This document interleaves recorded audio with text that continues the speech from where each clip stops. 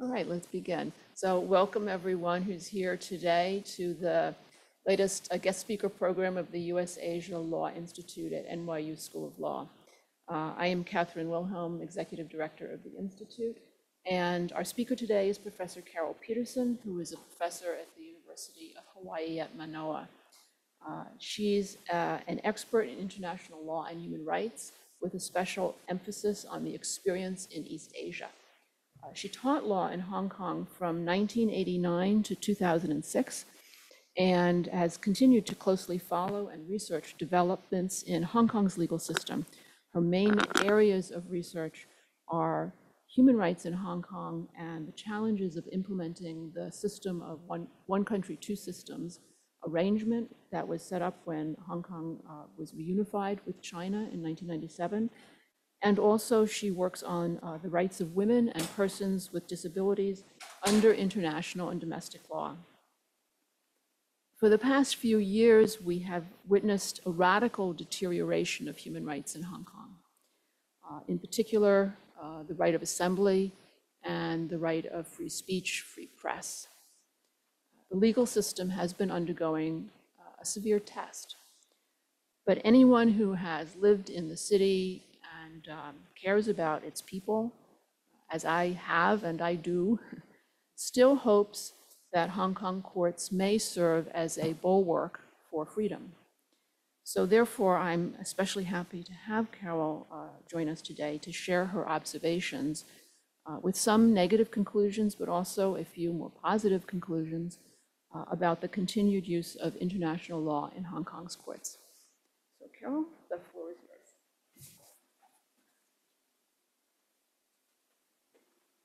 Thank you very much. Uh, It's lovely to be here. The weather is gorgeous in New York, and I love coming here in the fall.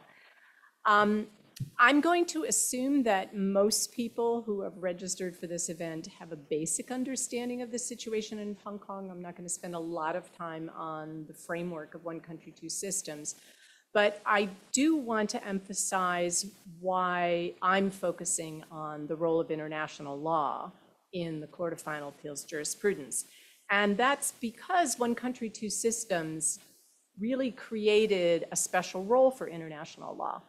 If you think about it, the framework for one country, two systems was established in a bilateral treaty registered with the United Nations, the Sino-British Joint Declaration. It provided, in some respects, for Hong Kong to actually have its own international legal personality, in the sense that although it's not an independent nation, it could enter into international agreements with other governments. It has its own membership in the World Trade Organization, its own currency. And most important for my research, the Joint Declaration provided that some very important international human rights treaties, such as the International Covenant on Civil and Political Rights, known as the ICCPR, and other treaties would continue to apply to Hong Kong and be enforced through the laws of Hong Kong. And that, particularly the ICCPR, is significant because although mainland China has signed the ICCPR, it has never ratified it. And therefore, mainland China does not participate in the international reporting process in Geneva, but the Hong Kong government on its own reports, although they submit their report through China, but they are really the ones writing the report and answering the questions when the UN Human Rights Committee reviews its compliance with the ICCPR.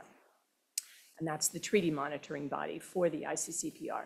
So international law has always, from the beginning in 1997, I think, had a special role in Hong Kong.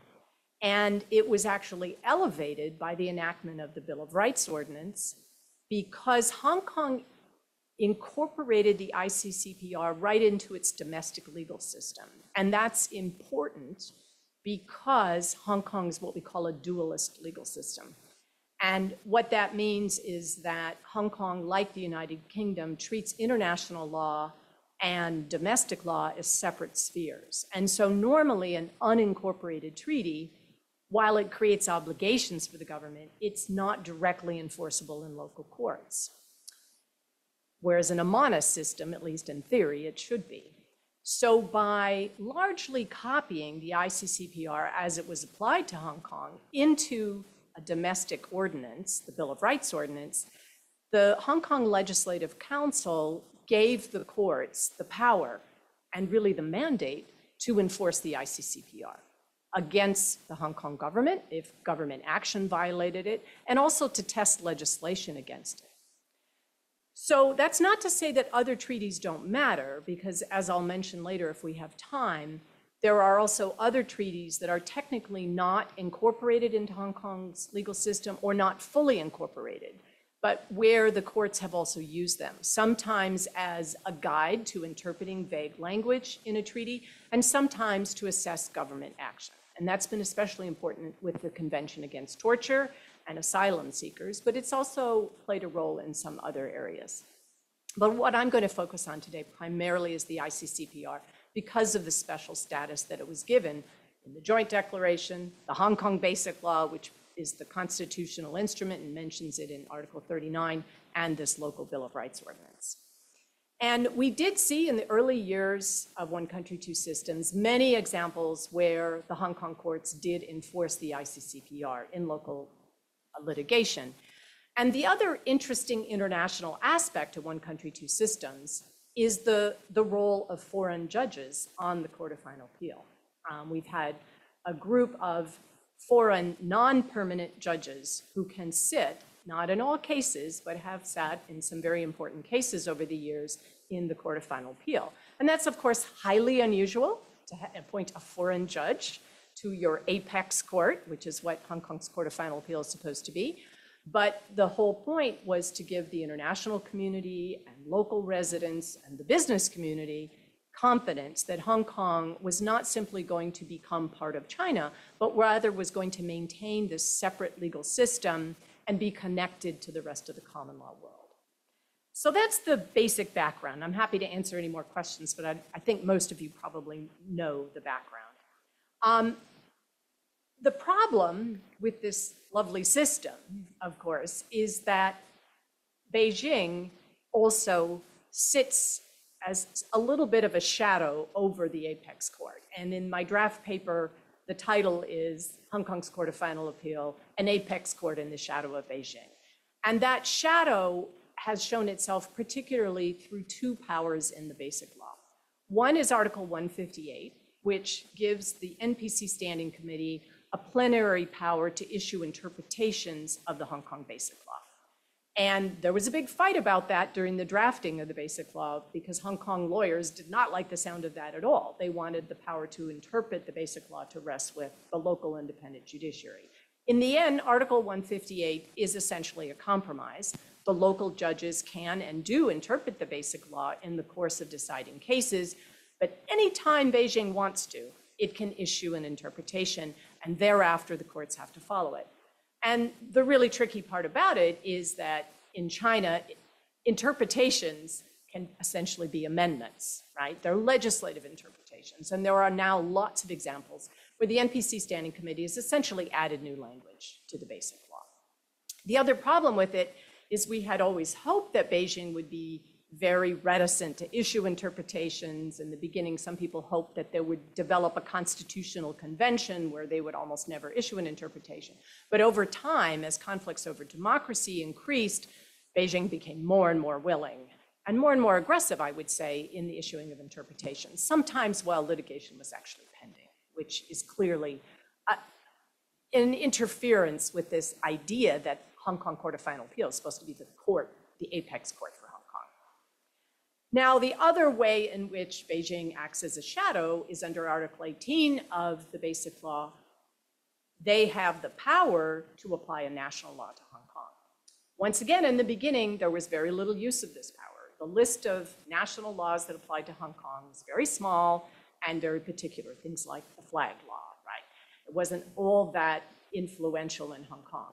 But with 2020 and the national security law, that has completely changed.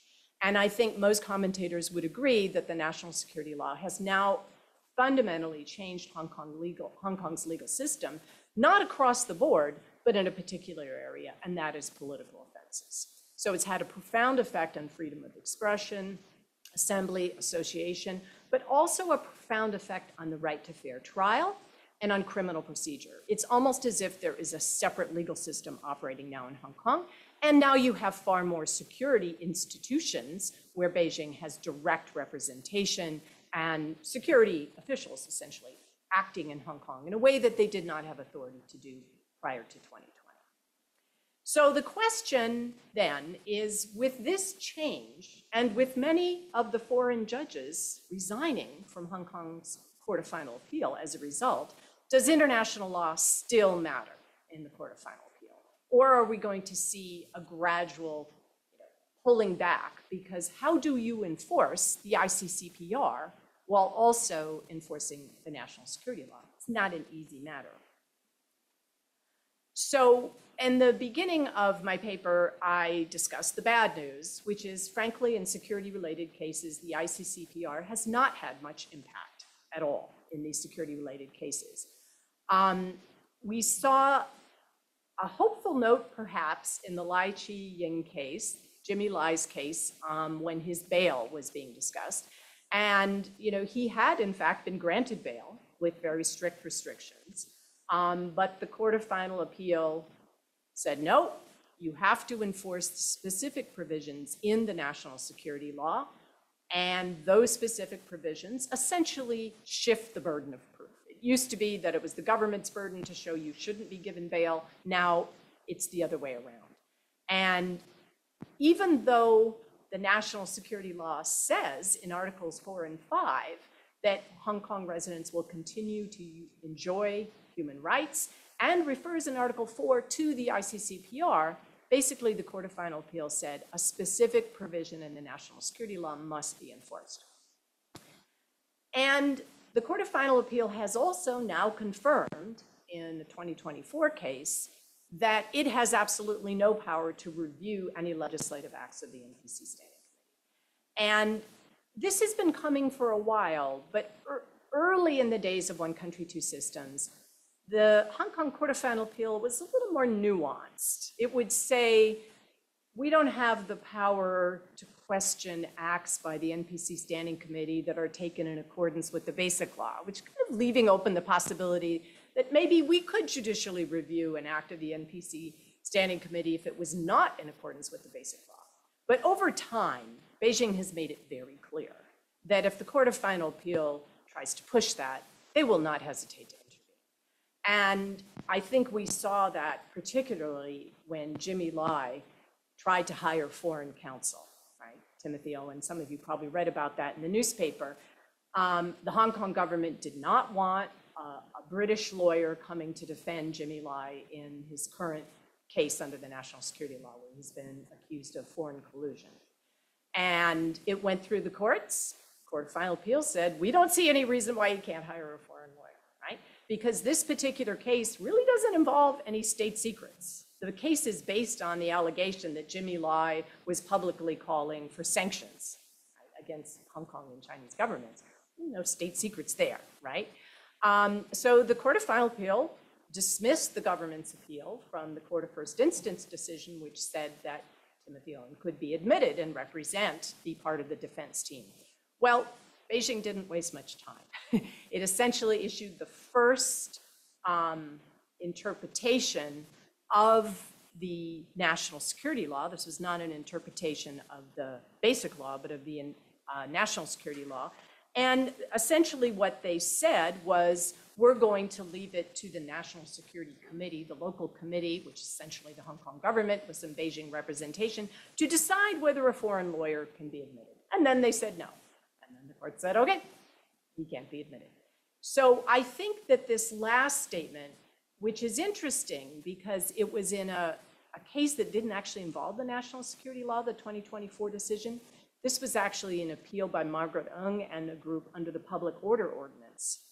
So there was actually no reason for the, for the Court of Final Appeal to say anything about its ability to review acts of the NPC Standing Committee. So I'm not sure why they said it in this decision, but it may partly be because the Court of Final Appeal wants us to know. We're simply not going to be able to intervene in anything that the NPC Standing Committee decides. If it's an interpretation, we're going to have to follow it. If it's a national law, put on on Annex 3, we're going to enforce it. Our decision as judges is either you enforce those laws and those interpretations, or if you can't, you resign. There's no way that we are going to try to judicially review or change that. Um, So I, I see this last decision as kind of the Court of Final Appeals pragmatic recognition that Beijing can easily amend the basic law or the national security law via interpretation. They can add all the clauses they want. And so perhaps there's no point, if you're on the Court of Final Appeal, to, in challenging Beijing and just attracting more interpretations. Now, that doesn't mean, though, that the courts cannot use the ICCPR as a guide to interpreting the national security because there is, in fact, a lot of language in the national security law which is ambiguous. And it's certainly arguable, I would say irrefutable, that since Article 4 of the national security law says that the ICCPR still applies, that if there's ambiguous language, you should try to interpret the national security law to comply with the ICCPR. But we're really not seeing that, in my opinion. If you think about some of the trials, say the first conviction, the Tong Ying Kit case, where the motorcycle driver was convicted of terrorism as well as incitement to secession because he drove through- through some police barriers and flew a banner that said glory to Hong Kong. Um, If you read that decision, there is not one mention of the ICCPR. There was no effort to interpret the elements of the offense, of these new offenses, in a way that would comply with the ICCPR. I had hoped at the time, and I remember writing a critique of the case, and many other commentators did as well, I had hoped that at some point on appeal, that might be corrected. But there was no appeal in the end. He initially had filed an appeal, but then he withdrew it rather mysteriously. And actually, if you go online, you'll see that he's now kind of the model prisoner, um, being touted about as graduating from some kind of educational program um, and blaming social media for his bad acts, right, in 2020. And so in that case, no chance for the appellate courts to consider whether the ICCPR should be applied. Another example is the conviction of the speech therapist for sedition, um, conspiracy to commit sedition. There, the court did discuss the ICCPR and purported to take it into account, but then pretty quickly dismissed it, right? And also dismissed international and comparative materials as not really appropriate to the circumstances of Hong Kong. That's a real change from the days when the Court of Final Appeal and the lower courts would regularly reach out for international and comparative jurisprudence. They would cite the general comments of the UN Human Rights Committee. They would cite decisions by the European Court of Human Rights. Now we have in the speech ther- therapist case a real rejection of that, uh, a sense of those foreign sources simply don't apply to Hong Kong. We're a special situation. We also see increasingly um, the courts accepting the Hong Kong government's narrative of what happened in 2019. It wasn't peaceful protests with some unfortunate incidents of violence and property damage. It was a violent series of riots, et cetera, et cetera, complete breakdown of social order. And we see this in the language, not only of the lower courts, but also in some opinions of Court of Final Appeal, where there seems to be an, a willingness to accept the Hong Kong government's narrative of what 2019 was all about. So although I conclude at the end of this slide that, you know, I mean, there are some exceptions. Chow Hang Tung managed to successfully challenge the reporting restrictions, and that was a real victory, in my opinion. And that opinion does cite the ICCPR, though it doesn't rely entirely on it. Uh, But we really don't see many examples where international law is making a difference now. I had hoped it might be able to mitigate the impact of the national security law. And I wrote an article for the Hong Kong Law Journal not too long ago called, asked whether the ICCPR is window dressing or a meaningful constraint now in Hong Kong. And I think right now I would have to say kind of window dressing. Um, I think it's a little too soon to be sure, because we do have some appeals that may work their way to the Court of Final Appeal. One would be the appeals of the 14 who were recently convicted of subversion, right? I think there's a very strong argument to be made on appeal regarding what the court pointed to as the unlawful means, because the definition of subversion requires proof of unlawful means. And what the court cited were two provisions in the basic law regarding the role of legislative counselors that do not create either civil liability or criminal liability. So I think that's a very strong ground of appeal, but we'll see what happens. Um, So it's, I would say in this area, pretty negative as to whether the national security law can be mitigated through international law. However, this is the more positive side of the presentation, what Katherine wanted to hear. Um, In non-security cases, we do still see citations to the ICCPR, and in a meaningful way, we see many cases where the courts are in fact ruling against the government. Now, this slide I won't spend too much time on because this is all pre-2020. These are the cases where members of the LGBT community successfully challenged laws and government policies. So originally, up until, in in 1989, when I moved to Hong Kong, gay sexual relations between men were still a criminal offense. It was that old British law that had never been reformed. And the Hong Kong government took the initiative to reform it partly when the Bill of Rights Ordinance was being debated, because they knew it would be invalid. But they only partly decriminalized. They maintained an unequal age of consent, for example, and other discriminatory provisions. Well, in these first two cases, in 2006 and 2007, those discriminatory criminal provisions were successfully challenged. Then we saw a series of challenges in 2013, 2018, and 2019 where other non-criminal discriminatory laws and government policies were successfully challenged. So in RV Registrar of Marriages, we had a successful challenge on the right, the right of a trans woman mar- to marry in her gender, her assigned gender now. Um, We had in QT v Director of Immigration, a case that successfully obtained the right for a visa for a same-sex spouse. There's no same-sex marriage yet in Hong Kong, but the same-sex marriage had occurred overseas. And then we also had in the Leung Chun Kwong case, a challenge which achieved equal benefits for civil servants and tax treatment for a civil servant who had married overseas. So what about post-2020? Um, My co-author on, on this part of the paper, Kelley Loper and I, we, we are doing a paper that compares the evolution of LGBT rights in Singapore, Hong Kong, and That we presented at the Law and Society meeting this summer, and we're refining it now. But one of the striking things about LGBT rights in Hong Kong is that we still see the Court of Final Appeal ruling against the government. So in QV Commissioner of Registration, decided in 2023, the court held that the government cannot refuse to change gender markers on identity cards of uh, two transgender men simply because they had not undergone surgery. Court of Final Appeal applied the right to privacy, which is protected in Article 14 of the Bill of Rights Ordinance and is identical to Article 17 of the ICCPR.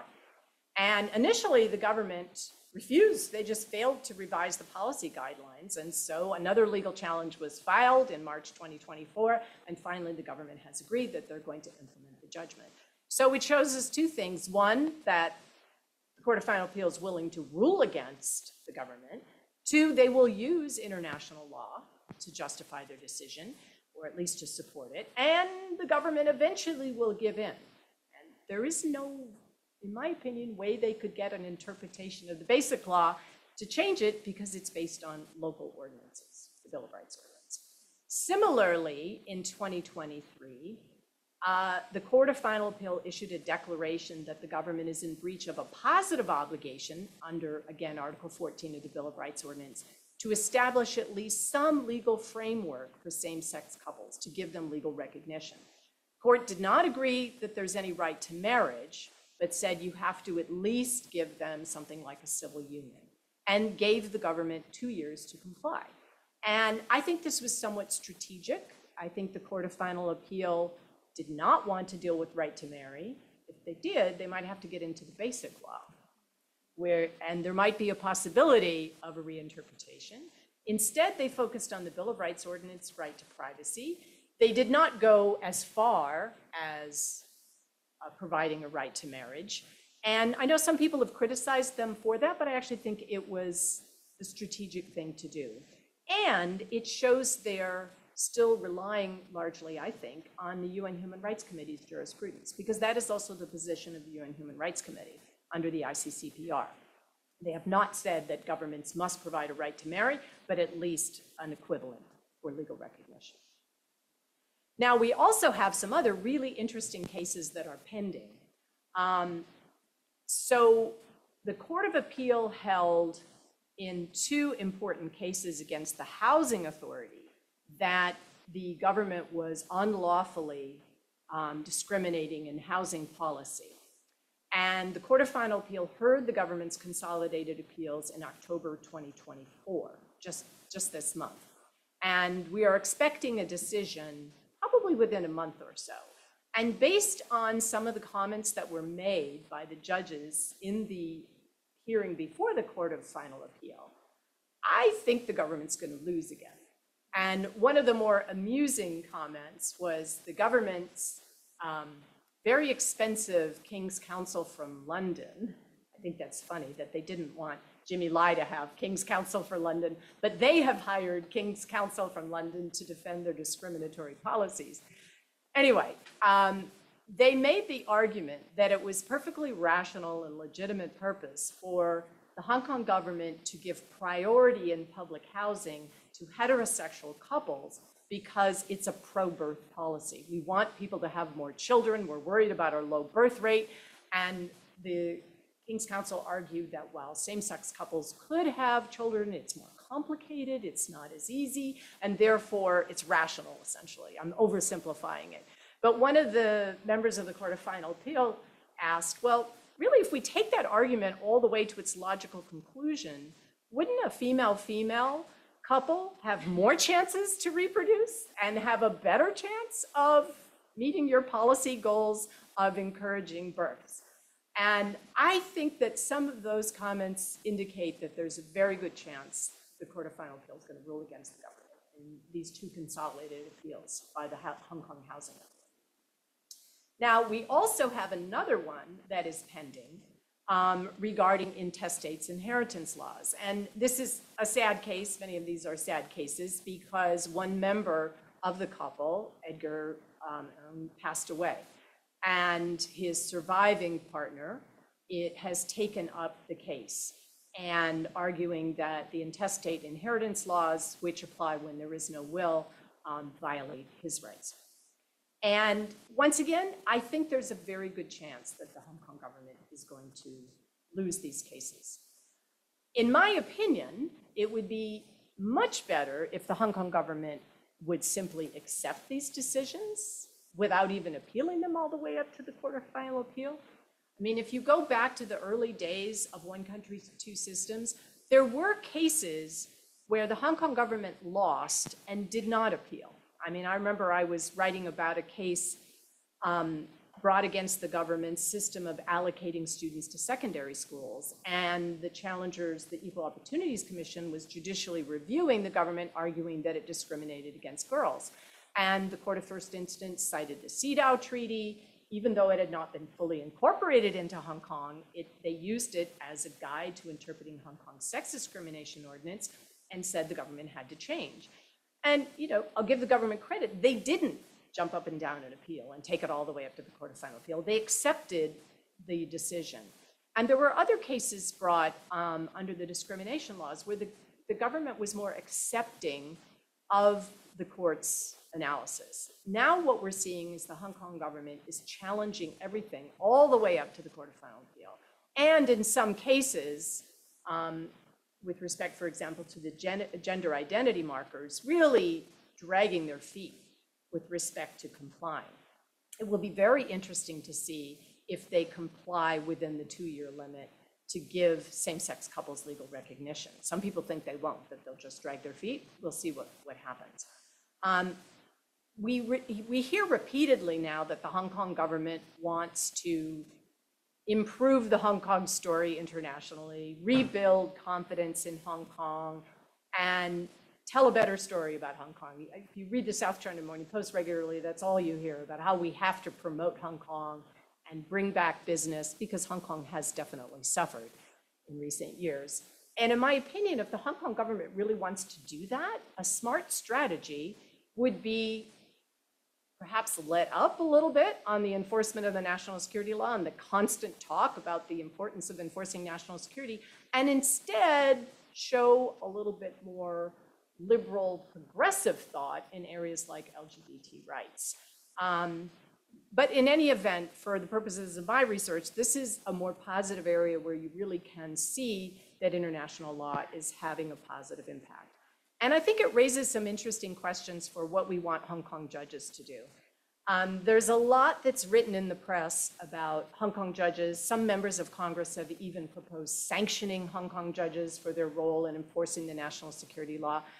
I understand where that critique is coming from, but I think it's important to remember that there are 7 million people living in Hong Kong, and the vast majority of them are not going to leave. And they are affected by all areas of Hong Kong law. And for them, it might be better if competent judges stay in their positions, even if it sometimes means doing things that are not very attractive to them and not consistent with the ICCPR. It's, a, it's an interesting question. I can understand why judges, particularly foreign judges, might want to resign. However, I'm not sure it's necessarily the best thing for Hong Kong if they do. It might be better to have some foreign judges there to write some dissenting opinions on occasion um, and to make the point that enforcement of the national security law is not always consistent with the ICCPR.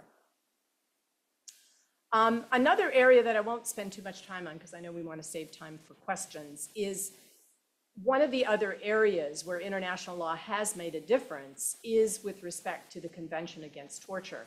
Hong Kong is not bound by the Refugee Convention, and that is because both the British governments and China's governments agreed not to apply the Refugee Convention. Um, and the Hong Kong government insists repeatedly that the duty of non-refoulement is not customary international law. That's debatable, but they're essentially trying to show them that they're a persistent objector right? If that is an evolving norm of customary international law. I'm not really sure a regional government can be a persistent objector, but they certainly try to take that position. However, under the Convention Against Torture, Hong Kong does have an international obligation under Article 3 of the convention not to deport someone who has a well-founded fear of torture. And in the beginning, the Hong Kong government really was not enforcing that or adhering to that obligation at all. They were simply relying on the UNHCR to screen applicants. And if someone was screened out as a refugee, because they did allow the UNHCR to screen in Hong Kong and settle people elsewhere, if, if the person was screened out as a refugee by the UNHCR, then the Hong Kong government just assumed that, well, they also don't have a viable claim as a torture claimant. But if you think about the definitions in the two treaties, they might overlap, but they're different. It's possible that you don't fit the definition of refugee, but that you do fit the definition of a torture claimant, even an ordinary criminal who's fleeing a criminal justice system where people are tortured could have a viable claim. And the Court of Final Appeal recognized this in the Prabhakar case.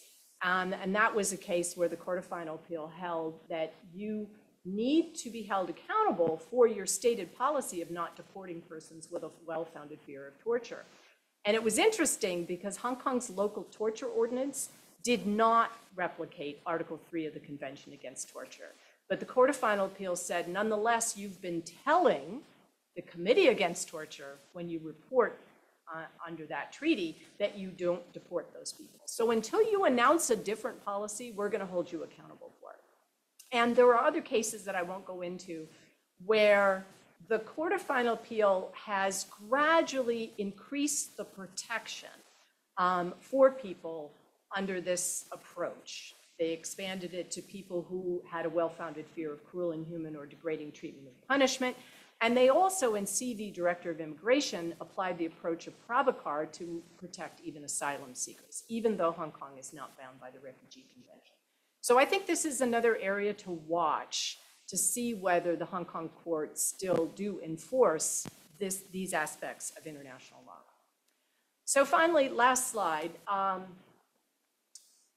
my conclusion so far, although it's somewhat tentative, is that international law does definitely still matter in areas of law that are not related to security or to Beijing's core interests, where the courts can enforce international law against the local government without coming into direct conflict Beijing. Um, And the ICCPR is the most influential, but there's other jurisprudence such as that under CAT that shows that other unincorporated treaties can also be influential.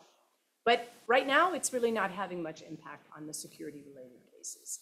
And I would have to say that although we don't have much data yet on the new National Security Ordinance that was enacted in March 2024, I suspect it's going to be the same.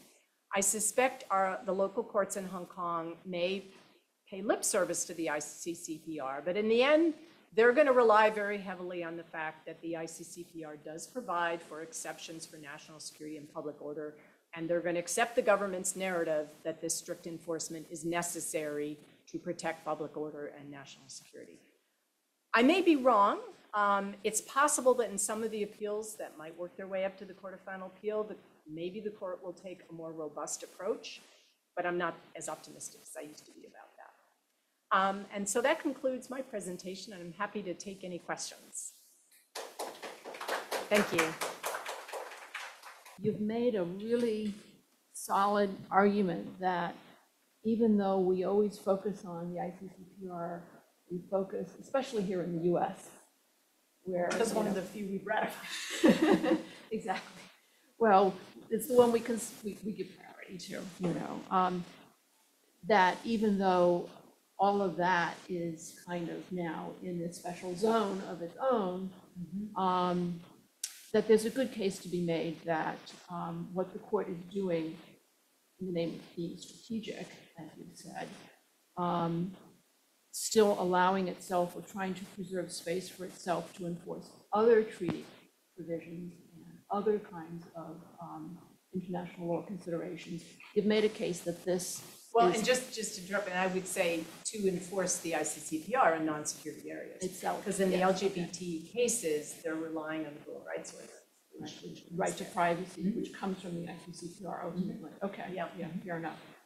So I guess I'm wondering what the practical implications of this would be. And you, you started to talk about little bit when you mentioned that there are some members of our Congress who have called, just individually, I'm not aware, I don't think this has been put into any draft. No, uh, I don't think Although so. Don't. Congress has a lot of bills, um, if, if you don't follow it, there's actually a website um, that, that tracks all the legislation that is proposed, doesn't necessarily even make it to committee, but is Mm-hmm. Right. proposed in Congress and in the Senate relating to China and Hong Kong. And Mm-hmm. there's, there's a lot.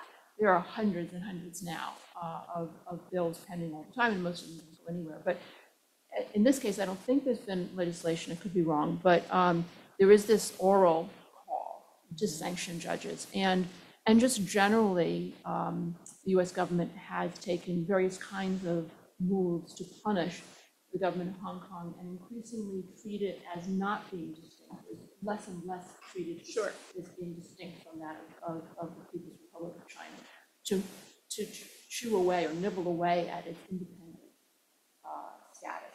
At its international legal personality. Exactly, Right, that yeah. international legal personality is being, is being attacked.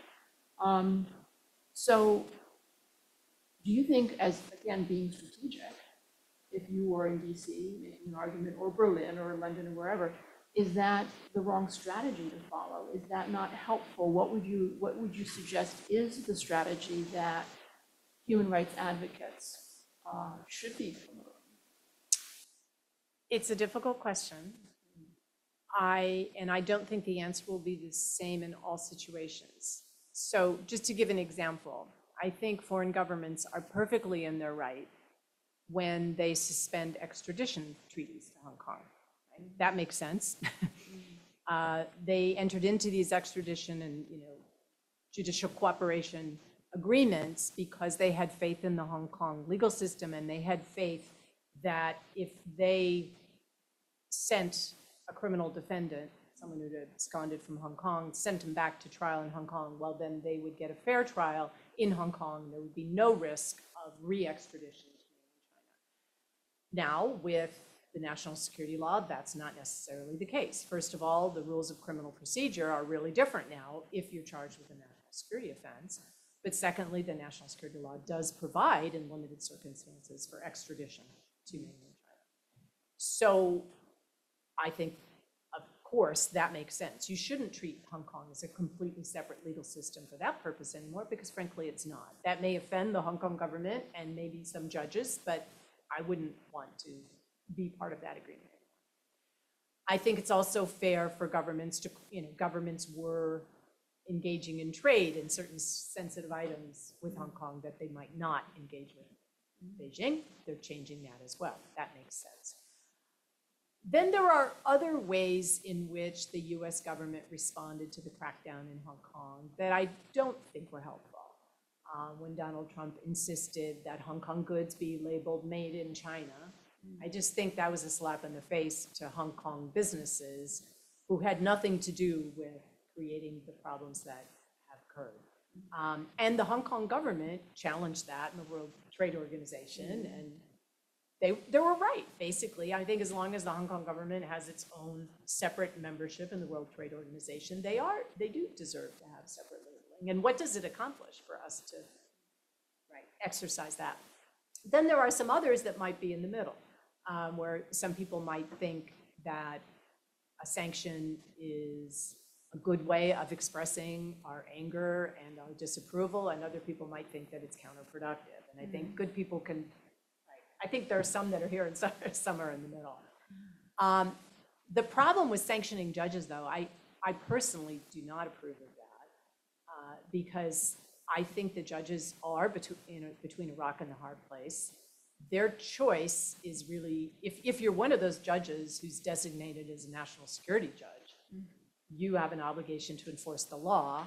Mm-hmm. A- And I do think that it's fair to criticize judgments that don't take into account the ICCPR, that maybe interpret the elements of the offense too broadly, um, which I and many other people have done with mm-hmm. respect to the conviction of the, of Tong Ying Kit, but also the speech therapists, A lot of us have published articles saying those judgments were wrong. But Are people, are, are scholars in Hong Kong pu- putting their names on articles that say those judgments are wrong? Yes, there are some. They might say it in a little, little less strongly worded than, but hmm. I have seen some drafts, especially for a book project that I'm involved in, where someone who is still teaching in Hong Kong has been pretty strong in saying, this was wrong, the Court of Final Appeal must correct this on appeal, but it was in connection with the subversion. Uh, The, the point that I made about unlawful means, I have seen local academics make that same point. Uh, Now, of course, you have to be a little careful if you're in Hong Kong, and you have to be careful that you're not calling for sanctions against the Hong Kong government, because although there are many vague vaguely defined offenses in the national security law, that one's pretty clear. If you call for a sanction against the Hong Kong government or China, you're committing an offense. And it doesn't matter whether you do it here in New York or you do it in Hong Kong. If, if you are a Hong Kong permanent resident, wherever you do it, and regardless of whether you are successful, you've committed an offense. If you're not a Hong Kong permanent resident, you're, you are only considered to have committed an offense if you successfully. So there are some things where you have to be very careful, but I think that academic criticism, if you footnote everything and you're careful about it, I don't think it's an offense. At least I've been assured of that by my former colleagues. I hope I'm right.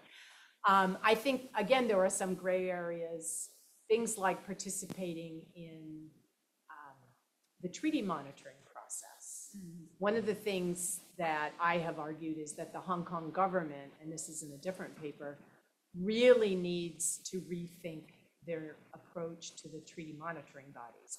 Because in the old days, pre-2020, the Hong Kong government was generally very polite with the treaty monitoring bodies. They would write their report, they would engage in dialogue, and when they received the concluding observations, they may not implement everything, but they would try to implement something usually, and they would always be very respectful. Now, if you look at the Hong Kong government's website, when the treaty monitoring body issues concluding observations, uh, the Hong Kong government just lashes out and accuses them of lying. And, You know, it really sounds like it was written by Beijing. And again, that, not only is it a bad look for Hong Kong, but I think it frightens NGOs who might participate in that process. Mm. And the Human Rights Committee came right out and asked the Hong Kong government in its last review, will you promise not to retaliate against NGOs hmm. and NGO representatives who provide information to us? And I have never heard such a roundabout answer. I mean, they kept trying to avoid answering the question. And in the end, someone from the Hong Kong delegation said, it would depend on the circumstances, right? As long as what you do is lawful, we won't prosecute you.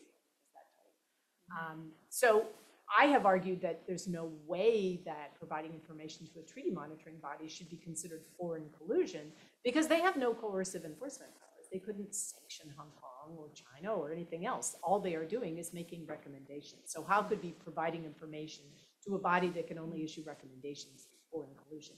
But there are people who are very worried about it, and all you have to do is look at the number of critical NGO reports, what we call shadow reports. They have since 2020, absolutely, yeah. And of course, a lot of the organizations that were providing these reports have shut down because they were afraid of being prosecuted. So if the Hong Kong government wants to regain its reputation, there are a lot of practical things it could do while still fulfilling its obligation to enforce the national security law.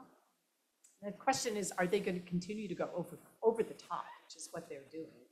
Um, Or are they going to try to take a slightly different approach and come up with some policies that might actually help the Hong Kong people, making housing more affordable and other things? You know, There's a terrible, terrible housing shortage in Hong Kong and an enormous number of people who are living in substandard housing.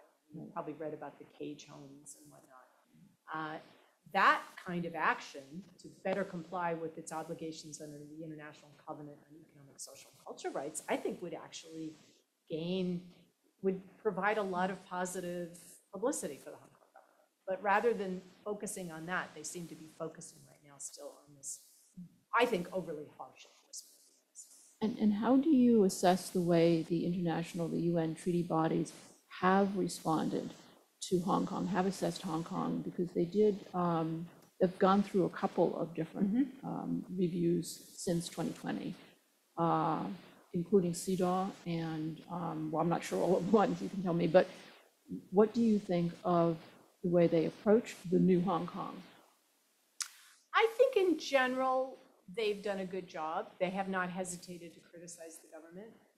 Um, The one critique I would make is that sometimes these treaty monitoring bodies have called upon the Hong Kong government to repeal the national security law, which it obviously cannot do. It doesn't have the power to do it. So I would suggest that they make those recommendations more nuanced, call upon them to adhere to the ICCPR in their enforcement efforts, right? To take very seriously their duty not to disproportionately restrict freedom of expression, et cetera, in order um, to comply with their international obligations. But I- think in general, they've done a pretty good job. Um, In, in some ways, it's remarkable that Hong Kong does still get um, separate attention, because if you think about the size and population of China, it's pretty tiny. Um, It's not surprising it gets separate attention from the Human Rights Committee, because mainland China doesn't report under the ICCPR. But when you're looking at the CEDAW Treaty, for example, the Convention on the Rights of Persons with Disabilities, other treaties, Hong Kong reports along with China. It does still get a separate set of concluding observations, so does Macau. But sometimes they get a little muddled.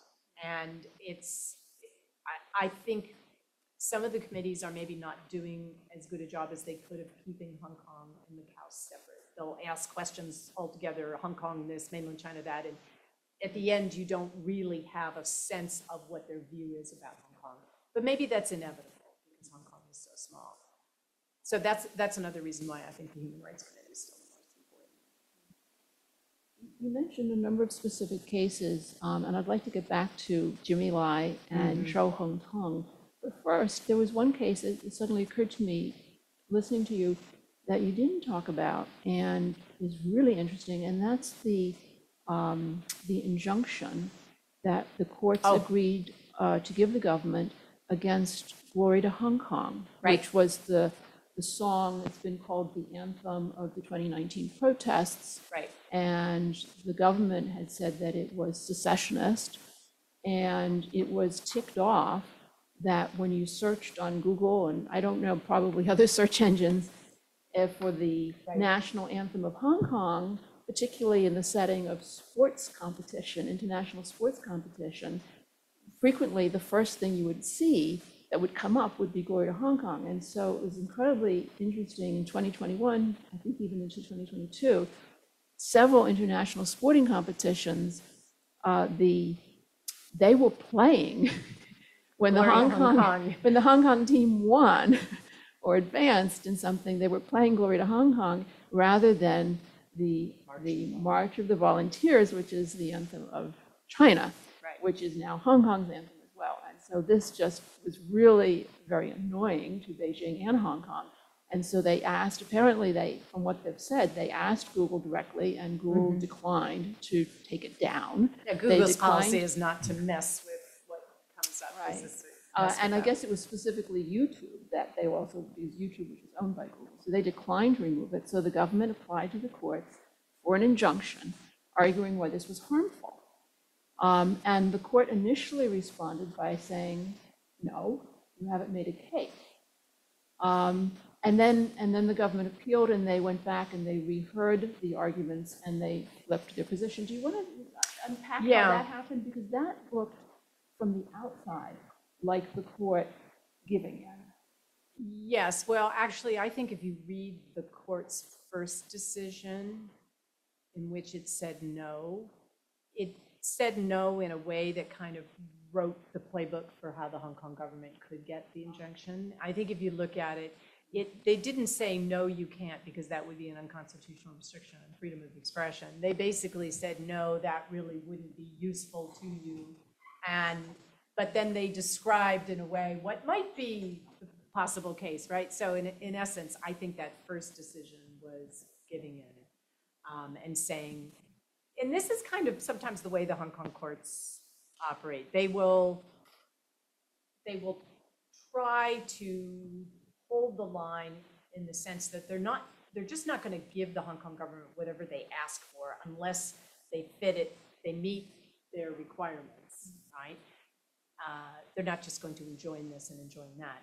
But sometimes they'll issue a decision saying no that says, this is what you need to do. And then we might give you the injunction. And I think that's kind of what happened in that case. And in some ways, it didn't surprise me that much because already we had seen cases where people had been convicted on the basis of a statement, right? I mean, the Tongue Kid case, right? Um, That was considered incitement to secession, even though there were many expert witnesses who testified that there were many different interpretations of that slogan. And it wasn't necessarily a slogan that was calling for Hong Kong independence. It could be a slogan that was calling for the restoration of the freedoms that Hong Kong people thought they deserved under one country, two systems. So more for our rights as a special administrative region. But the court, you know, very much honed in on the expert testimony that as long, and, and basically said as long as one of the meanings, one of the possible meanings of the banner that he was flying from his motorcycle was calling for secession, if one of those possible meanings is calling for secession, then you can be guilty of incitement to secession. To me, that was a pretty extraordinary finding, and that was why I had hoped that case would go up on appeal. Um, But it didn't. And so now that case gets cited all the time, especially in district court, you know, lower level cases, they cite that court of first instance decision. So I think the courts had already decided that it was perfectly acceptable within Hong Kong's legal system now to designate certain statements as almost prima facie unlawful. Talk a minute about Okay, He has, of course, he has the funds to litigate. yes, he uh, does. Because uh, I think everybody uh, here and, and on- online knows well, he's, was the publisher of Apple Daily. He had previously become a very rich businessman through his um, line of clothing, uh, Giordano. Um, Right. And um, I still have some Giordano t-shirts. I wonder if they're worth anything. Yeah, maybe. Um, So he has the money to hire the best legal counsel and every incentive, of course, to- to do so. And so he's been charged with a number of different things. And each step of the way, he has, his team has has litigated everything they can. They've litigated procedural questions as well as substantive questions. Um, They've had a few wins, not very many, mostly losses. Um, But I think you mentioned one in the paper that you wrote that um, deals with this question of uh, international law in Hong Kong courts. You mentioned, for example, him being given bail at one point. He very was, the early court of on. first instance had granted him bail with very strict conditions. Mm-hmm. Government and- appeal, And this was the- on the charge, which charge was he given bail? collusion, foreign collusion, Foreign collusion, so a Under national national- security charge right. where the presumption is no bail. Right, and so that was a very important case that went up to the Court of Final Appeal. And in 2021, the Court of Final Appeal held that the new bail provision had to be strictly. Because what, essentially what the Court of First Instance had tried to do was to take that provision, but interpret it more in line with Hong Kong's system for bail, right? And and that judge also did impose some very strict conditions for bail. It would have been almost like house arrest, but at least he would have been home. Uh, And then the Court of Final Appeals said, no, that is, you're misconstruing the clear intent of that provision of the national security law.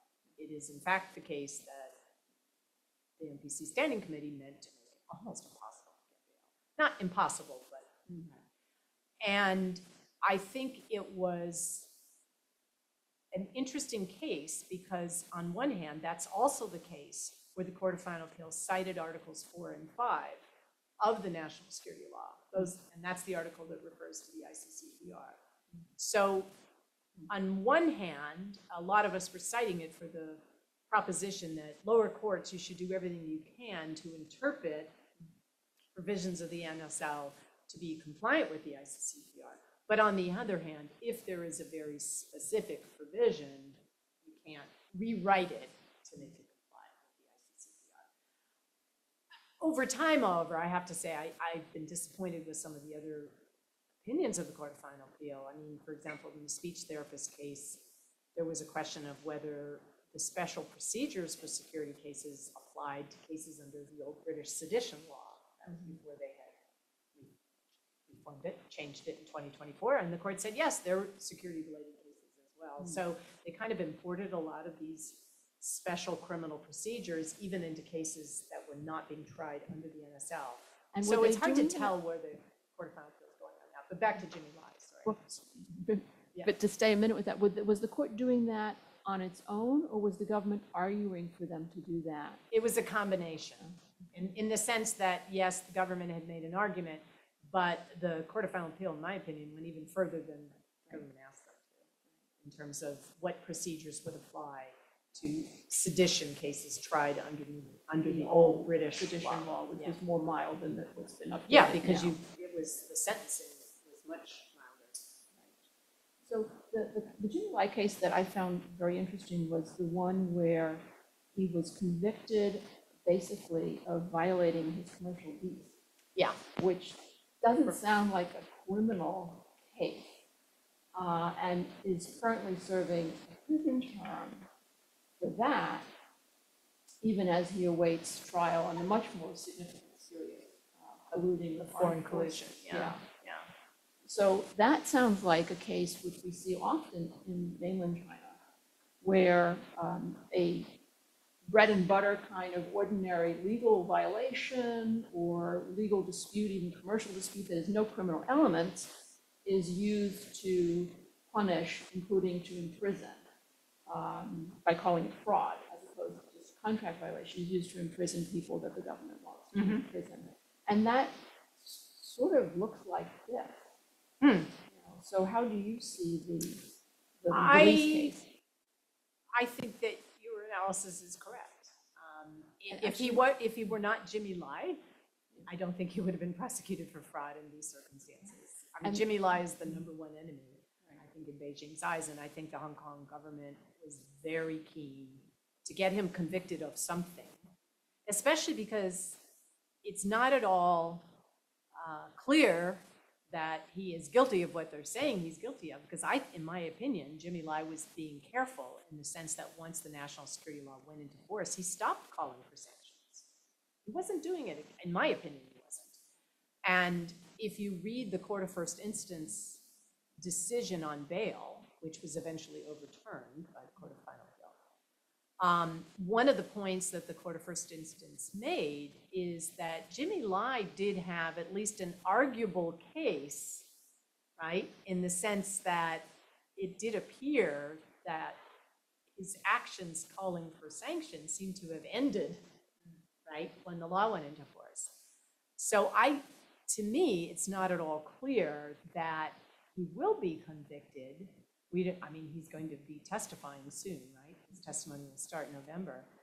Uh, If we're very um, skeptical of the Hong Kong legal system now, we might say, oh, it's a slam dunk, of course he'll be convicted. But I'm not 100% sure he will. And I'm not 100% sure that if he is convicted, it will be upheld on appeal. Uh, Because I do think it's a bit of a stretch. I mean, essentially, what I think the prosecutors are trying to argue is that even though the national security law expressly says that it's not retroactive, that's supposed to be one of the good things about it, but the prosecutors are reaching back before the law went into force to look at his actions and using them as evidence of his intent, and arguing that even though you stopped hmm. expressly calling for sanctions, that's what you were trying to do when you were critiquing the government. So I don't know, maybe he won't be convicted, or maybe he'll get off on appeal. Well, if you're the Hong Kong government, you at least want to be able to tell Beijing, well, he served time for corruption, right? He served time for public order offenses. Um, You see what I'm saying? I think that from the Hong Kong Very government's clever strategy. Hong Kong governments probably didn't know for sure whether they were going to get certain convictions, and so it was important to them, I think, this is my speculation, but I would think if I were the Hong Kong government, it would be important to me to be able to tell Beijing that the number one enemy, Benny Lai, is in jail for something. Jimmy Lai. Uh, Jimmy Lai, yeah, is in, is in jail for something, right? And that, e- because they didn't know how the cases were going to go. I think they, they've been more successful than maybe they expected, right? With the exception of these two acquittals for subversion. They got a great prosecution. Um, So maybe they weren't sure that that would happen. And maybe they wanted to make sure that Jimmy Lai serves. Just, I realized as we were speaking, we didn't explain what the lease dispute was about. Do you want to say in a nutshell? Um, my understanding of it, and I'm not an expert on that case, but was that he was, he leased the premises for one activity for his publishing, and then he was using it for other activities as well, essentially. And Yeah, More than one company. More than one company, yeah. Right, And and so so- it was a, it was a breach of the lease terms. So normally you would think breach of contract, if there are some damages from it, then maybe you could get Show, show your damages. Right, right. But, you know, the- I suppose it's not beyond, it's not impossible to make out a fraud claim for it because you would have made statements in the course of it. And Again, I'm, I haven't followed that case really closely, so I don't want to say too much on it. But from everything I've read about it, it's a case that would not have led to jail time had he not been who he was. Mm-hmm. Because it wouldn't have been prosecuted. So um, I'm sure all of you are waiting impatiently to raise your questions. Uh, So uh, do I have any in the room? If not, I'm going to go to uh, Chris. Hi, thank you so much, um, Professor, for being here and sharing with us. I want to go back a little bit to the LGBTQ part. Um, and specifically, I think it's very fair to say that the court has been really still continuing the tradition of using ICCPR um, as kind of a way to um, progress um, LGBTQ rights in Hong Kong. I think um, that's another piece to it is after the NSL, the Hong Kong government has been extremely regressive on reading the interpretation uh, or the rulings given out by the uh, Court of Final Appeals. And it happened to the Q case where the government has come up with highly inappropriate, I think it's al- almost in bad faith, um, proposal to surveil trans people and also uh, because Q is a trans man, they have another scheme um, for trans women which still needs bottom surgery. Right. Um, and also, I think that applies as well to Sham Tsz Kit case where they would likely say it's impossible to get through uh, the legislature, so they're just going to throw their hands up and say we cannot comply with the two-year limit or do something in that phase also. So I, I just want to, uh, you to maybe comment on that a little bit more and, yeah. Well, I think you're absolutely right. The Hong Kong government has become, I think, more regressive on this issue since 2020. I think that has something to do with the change in government and the change in le- the legislature. Because I'm not saying that everyone in the legislative council was progressive on these issues, but when you had competitive democracy, you had some more progressive people. Um, And I think there's been a change at the Equal Opportunities Commission as well, where there was a time when even though the Equal Opportunities Commission didn't have an ordinance to enforce, they still collected complaints and data, um, and they were, I think, receptive to the idea that the LGBT community deserves equal rights, right? Now, the Equal Opportunities Commission is like, nope, not, not our business, right? We don't have an ordinance to enforce, so they're, they've taken a much more narrow approach. Um, So you're right, it, basically, the Hong Kong government, I think, is gonna fight every possible progressive decision. And I'm not so sure that I think they'll be able to just throw up their hands and say, we can't get a bill through the LegCo, though be with respect to legal recognition, because I think at some point the Hong Kong government might just do it. The Hong Kong Court of Final Appeal might just do it for them, right? They just might issue a declaration. And to some extent, we saw the same thing happen in Taiwan, right? Where the Taiwan highest court said you have two years, and it was touch and go there because they had these referendums and there wasn't a- as much public support as perhaps people hoped. But eventually the job was done because there was a sense that you need to comply with highest court's decisions. Um, So I do, while I, I agree with you, it's not, um, it's not a perfect situation by any means, but it's way better than it would be without the ICCPR. And I think the best comparator there is Singapore. Singapore has never ratified the ICCPR. Singapore only recently decriminalized and did so only because at the same time, they put in a constitutional amendment saying no same-sex marriage. So I think if the ICCPR had applied to Singapore, they would have had to decriminalize much sooner. So international human rights law, I always say to my students, is, is not perfect and it can't achieve everything, but we're better with it than without it. Following up, should I assume then that the LGBT uh, decisions that you're describing in Hong Kong are more progressive than what you get in mainland China? Oh, yes. So the ICCPR in that sense makes a big difference. Well, even if mainland China had ratified the ICCPR, which it hasn't, you don't have an independent judiciary to enforce it. So even if they had ratified it, even if they had, you know, promised to comply with it, you're not going to get a court to order the government in mainland China to comply with its international human rights treaties, even though China is theoretically a monist legal system. You're not going to find court judgments and enforcing it. raises the other question, which a bit confused about CEDAW status in Hong Kong, because uh, including observations of the CEDAW committee, Windy does have a separate section Kong. But based on what you're saying, um, CEDAW doesn't have the kind of standing that the ICCPR does under Hong Kong law. So as far as the Hong Kong government is concerned, is CEDAW part of? It's a very interesting question, and there's only really one case that directly is on point, in my opinion, and that was the case that I mentioned, uh, that where the Equal Opportunities Commission judicially reviewed the Hong Kong government's policy of allocating students to secondary schools.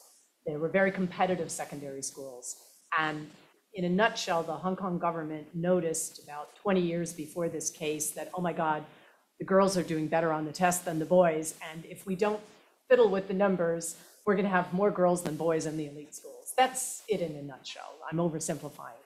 And the EOC asked them to change, they refused to change. There was a judicial review, it went before Justice Hartmann in the um, Court of First Instance, and the Hong Kong government tried to justify their fixing of the numbers uh, as a form of affirmative action for boys.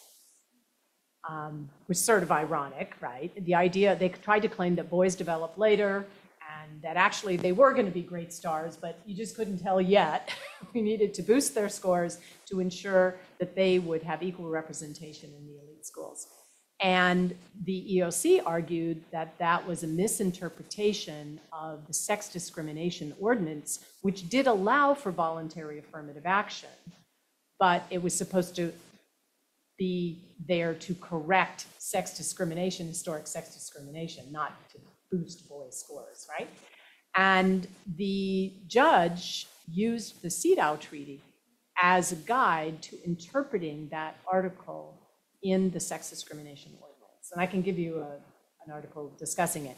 And he, Directly saying that it was applicable to well, what he said is that we can see that the sex discrimination ordinance was enacted in part to implement Hong Kong's obligations under CEDAW. Because you see, what had happened with CEDAW is the British government ratified CEDAW, but initially did not apply it to Hong Kong. Because the Hong Kong government asked to be left out. And that was because the colonial government knew they had tons of discriminatory policies. I could rattle them off for you. I wrote articles about this back in the 90s. And one of the goals of the women's movement was to get the Hong Kong government to accept CEDAW. And finally, in 1996, I mean, right up to the deadline, the, the British government did extend CEDAW to Hong Kong, and they discussed it with China as well, because they knew, but China had already ratified CEDAW, so it shouldn't be a problem, right? And it was in 1995 that the Hong Kong government passed the sex discrimination ordinance, and this was compromise bill that was a response to Anna Wu's Equal Opportunities Bill, which would have prohibited discrimination on many more grounds. But the Hong Kong government managed to resist most of her bill, but they did agree to sex discrimination and disability discrimination laws. There were amendments that Anna Wu and other legislators tried to get into the sex discrimination bill that the government introduced to expressly provide that this was designed to implement CEDAW didn't quite get that in. But there's language in the preamble and the legislative debate that makes it clear that one of the reasons they're finally agreeing to legislate against sex discrimination, because it was the first sex discrimination law in Hong Kong, was because they had agreed now that CEDAW was going to be applying and they needed to comply with. Also, you can find statements from the Hong Kong government when they report to the CEDAW committee where they cite the sex discrimination ordinance as one of their ways of complying with CEDAW. So the judge was very open to arguments based on the CEDAW treaty. And this is what I mean when I say even in a dualist legal system, a lot depends on judicial attitudes. If judges are willing to look at what the government has said to the treaty monitoring body and when legislation was passed and the purpose of the legislation, they can often find enough evidence to show that that legislation or this government policy is intended to comply with international law. So if there is vague language, let's interpret it in a way to comply. And you see this around the world, right? I mean, sometimes people call this creeping monism, where judges in dualist legal systems like India and some others have actually used treaties even though they haven't been expressly incorporated in the way that the ICCPR has been incorporated in Hong Kong's Bill of Rights ordinance. That being said, I think there's still a difference. right? I mean, you'd still, if you're trying to rely on the treaty, you'd still rather rely on one that has been directly incorporated. And where it's really made a difference in Hong Kong is with ICESCR, the International Covenant on Economic, Social, and Cultural Rights. Litigants have tried to rely on it, and in one sense, they should have a good argument because it's described in Article 39 of the Basic Law in exactly the same language as the ICCPR. But there's no ordinance that essentially copies it. The Hong Kong government will tell the Committee on Economic, Social, and Cultural Rights that we implement our obligations under this treaty through a variety of ordinances, 50 different ordinances, and all these policies on housing and this and that and that. But the courts have said that's not the same as incorporating it in a, into one ordinance that we can directly enforce, like the Bill of Rights. So they still treat it really as an unincorporated. So it does make a difference, so. Sorry if that might have been too long of an answer. I want to go to one of the um, questions from the online audience. They want to talk about the foreign judges on the Court of Final Appeals. Um, So the question is, can you provide one example that provides, that, that uh, provides evidence that their presence has made any positive impact, whether it be a fairer trial, uh, more meaningful judgment, or anything at all? And the, the person raising the question says, this is because I'm unable to recall anything positive other than the fact that they're making a lot of money. This Um, is the criticism. yeah. and for the record, and I don't, I don't know, I haven't fact-checked these numbers, but the, it says that the foreign judges are making more than 50 US dollars per month in Hong Kong, which would be $600,000 a year, although my understanding is they would not be paid for the months they're not present in Hong Kong. So- Right, right. So I don't think we have to do that math, but 50, 50,000 US dollars per month, um, which they compare um, very favorably to the um, salaries of US justices. Uh, being- So this, so is this just a, um, a very comfortable gig? Um, Now, this is not the words of the person who submitted this, submitted this question, but this has occurred to me, that most of these judges are retired um, judges from the apex courts of Canada, Australia, or the UK, um, a lot of elderly lords and ladies. Um, So this is a very nice retirement gig. Um, Right, is okay. any- Well, the, the first thing I want to, first thing I want to say is I think we should pay our judges a whole lot more. Think we'd have fewer problems if we paid judges the way judges are paid in Hong Kong and Singapore. um, Because if you want justice to be done and no uh, opportunities for corruption or no temptation for corruption, then pay your judges a lot more money. I think we should pay our senators, congressmen, president, everyone more. But to go to your question, I think the answer is we don't know what goes on behind closed doors. So in their deliberations, I think it is possible that foreign judges have made a difference over the years, perhaps less so since 2020. But I think it is possible that foreign judges have made a difference, but I have to agree with the questionnaire. You don't see um, big dissenting judgments, right?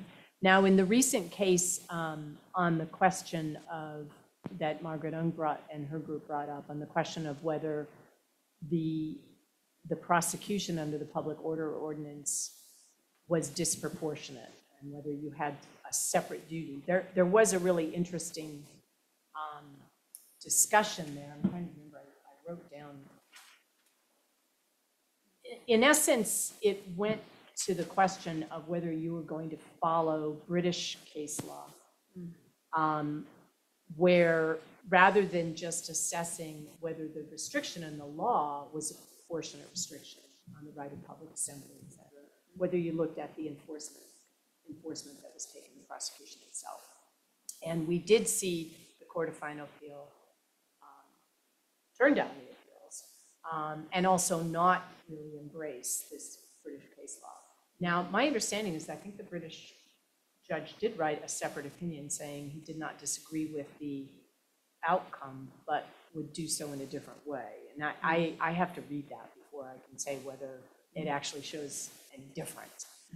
I, I, I totally understand the skepticism, and it may be that these foreign judges don't make a difference. I honestly don't know. I would like to think that behind the scenes, they are offering views and comparative jurisprudence and perhaps finding ways to keep Hong Kong a little bit more connected to liberal democracies and other common law systems, but I can't say for sure. And if I were a foreign judge on the Court of Final Appeal, I might well resign, for the obvious reason, you don't want to be seen as giving some kind of veneer mm-hmm. of rule of law to what is no longer a rule of law system for political offenses. But I do want to say, I still think that in the non-security cases, Hong Kong does still have a pretty good legal system that follows the rule of law. I think it's, unfortunately, it's like a dual state. A lot of people are using that term now to describe Hong Kong. if you're, if you're unfortunate enough to be caught up in these political offenses, be they under the local ordinance, the new ordinance enacted in 2024 to implement Article 23, or the national security law that was imposed in 2020, if you're in that unfortunate group, you are kind of in a separate legal system. Now. And I don't think there's much that any foreign judges can do to mitigate that. I think what we're hoping, those of us who still have some hope for Hong Kong, is that maybe eventually it can be quarantined. And maybe at some point, the Hong Kong government will feel that it doesn't have to enforce the law to such an extreme, mm-hmm. both with respect to you know, taking assets of NGOs and the speech, union- the speech therapists union now has been told they've got to cough up their assets, right? I mean, in addition to having gone to jail for sedition. I mean, it's just this over enforcement that I think goes beyond even what is necessary under the. But somehow the Hong Kong government feels they have to do it. I don't know if they're getting direct mm-hmm. directions that they have to do it, or they're just so determined to please Beijing that they're overly enthusiastic. But I think my hope is that maybe eventually the Hong Kong legal system can be preserved and maybe even this one area where so much has been lost, maybe the impacts can be mitigated. Mm-hmm. So that's not a great answer to your question, but I cannot point to a- any case where it's clear that a foreign judge has really made a difference. Is that a hand? Yeah. Thank you for the discussion, Professor Petersen. So uh, I'd like to hone in on the relationship between the judiciary and the legislative council, uh, particularly in their halfway approach to uh, uh, two constitutional cases. So pre-2020, Hong Kong judiciary left the room open for judicial dialogue with the legislative council, where they would strike down an unconstitutional provision in a domestic uh, law, but leave it open to the legislative council to amend or create an alternate framework similar to the Kit case, and the government would be receptive to these comments. But if we were to adopt a more skeptical approach, what are the implications if the Hong Kong government does not listen to the judicial dialogue between the CFA and the legislative council? Can the judiciary enforce in any other way? Well, I guess the best test of that will be the decision in 2023, um, which the Court Final Appeal said you have to give legal recognition of same-sex couples, but it's really up to you to formulate it, right? So that is, to me, judicial legislative dialogue. Um, And I think it's kind of difficult for the Hong Kong government to say they can't accomplish it, because let's face it, they pretty much control the legislature now, right? It's not like the old days when there was constant fighting between the legislative council and the government. So I, I think the, the courts still are engaging in that dialogue, in the sense they're giving them time to reform the law. But the question is whether the government will play ball and, and take the initiative to do it, or whether they'll just sit back on their heels and refuse and do what you suggested they might do, just throw up their hands and say, we can't comply.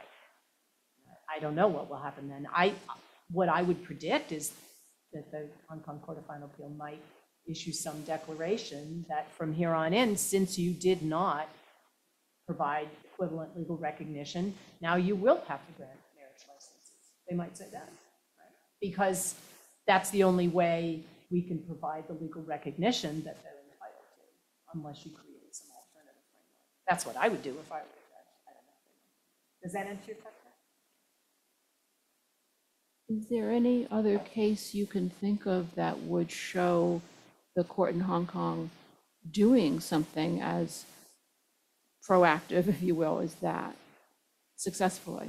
Well, the Hong Kong courts have issued declarations of Yeah. unlawfulness. Right, but this would require, basically would be telling the executive branch, you should be issuing marriage, if I understood you correctly, which you you should be issuing marriage licenses now to same-sex couples that come before you to register a marriage because you have failed to do what we asked and provide for an alternative framework. So now you're basically command, directly commanding the executive issue branch of to- mandamus, to yeah. take, yeah, exactly. So Right. is that, is there any precedent for that happening in, in the Hong Kong system? I think if you look at some of the case law I'm trying to think now, a non-refoulement, it's mainly orders not to do something. Right. Do not deport someone. You're right that it's rare for them to say, "Looking on right to social welfare. um, There are, there were some successful challenges um, on the right to social welfare under the basic law, which I would have to go back and read, but I, my recollection is they did say you had to recognize certain people who they had excluded from social mm-hmm. welfare. They had rewritten the law to exclude recent migrants from mainland China. And in essence, that's by saying you can't exclude them, that means you're gonna have to give them benefits, right? So I'd have to go back and read it, but I, I think they're probably careful how they phrase it. It would be unlawful to exclude, but do they affirmatively order that? Um, And in essence, it also, if you go back to the early um, right of abode cases, right after the handover, you certainly, when the court said you cannot exclude certain people from their right to permanent residence, the court was essentially saying you have to recognize them. I mean, you would have to issue them their identity card that shows they have permanent residence. So again, I, those cases are, are old now, but I, I think if I went back and read them, you would find examples where in essence, the government has been ordered to do something. I want to squeeze in one last quick question. um, I hope you can think of a quick way of answering, is um, the connection, I'm curious about the connection between the Hong Kong legal system and the Commonwealth legal system, since we were talking about these foreign judges who come from other, you know, Commonwealth countries, with the same legal tradition, British inheritance. Those connections on the one hand, uh, including licensing of lawyers. Um, You know, so we have lawyers practicing in Hong Kong who have been licensed in uh, England and Wales and so on. Um, Who I, who I believe, correct me if I'm wrong, find it fairly easy to be articled in Hong Kong and to practice in Hong Kong versus the connections between the Hong Kong legal mainland China, where there's pretty There's still a large wa- wall. Yeah. you know, Separation, just. Yeah. It, it, it strikes me that the connections to the Commonwealth remain Pretty strong. stronger professionally, if not, you know, but also in in textually Mhm. versus the other direction. Do you think that there's an a- attempt now to sort of rip that out, you know, tear up the, the well, turf? that, that's what I mean when I say we hope that the national security law and the new national security ordinance can be kind of quarantined. The hope is that Hong Kong, apart from that area of law, will remain a common law legal system. And remember, Article 8 of the Basic Law, Hong Kong's regional constitution, says the laws of Hong Kong shall include, and it mentions legislative, da, da, da, it says the common law, right? And so you do still see many references to the common law uh, throughout Hong Kong jurisprudence. And in fact, um, Tam Tak Chi's appeal, um, that's one of the arguments that have been certified for appeal, I believe, which is the argument that even under the, ol- under the old British law of sedition, his case was a common law offense that should have been tried by, it should have been tried in the high court with a jury, not in the district court. And so there, we're still seeing these references to the common law. And um, we'll see, but I, I don't think the common law is dead in Hong Kong by any means. But certainly many of the common law principles that influenced Hong Kong's criminal procedure are now dead in the context of security cases, right? So in other words, a dual, um, dual state system might be a, a- a better option than a complete. uh, Absolutely, integration absolutely. With the mainland. Yeah, and, and when I go back to Hong Kong, and I've been back several times since 2020, um, many people often say that to me. They say, you know, please don't, because I ask them, well, what can one do when one is not in Hong Kong anymore? And they say, well, please tell people that we are not Tibet, right? We, we do still have a different legal system. Things are tough, and a lot of things have changed, but we do still have greater freedoms and better procedural systems in our legal system that we want to protect. So that's why I'm always hesitant when someone says, shall we just sanction the judges? Because I think, well, what is the ultimate impact of that going to be? Are you going to improve things or are you going to make things even worse? And maybe, you- maybe the impact isn't that great one way or the other, I don't know. Mm-hmm. But I do think that the slightly better outcome would be Hong Kong maintaining its common law legal system, at least in areas outside of security cases. Right. Well, I find that the most, actually, the most gripping aspect of your research, because I think sitting outside Hong Kong, we all have this question of, well, what is the right response? Do sanctions help? Uh, What would actually be helpful Yeah. to, um, to the cause of of preserving some elements of, um, I don't want to use the term rule of law, but uh, legal protections, recognition, protection of rights in Hong Kong. Um, So we continue to grapple with that. Thank you so much for Oh, you're this very talk. welcome. And Thank you all for of the you for your participation and great questions. What a great. Thank you very much.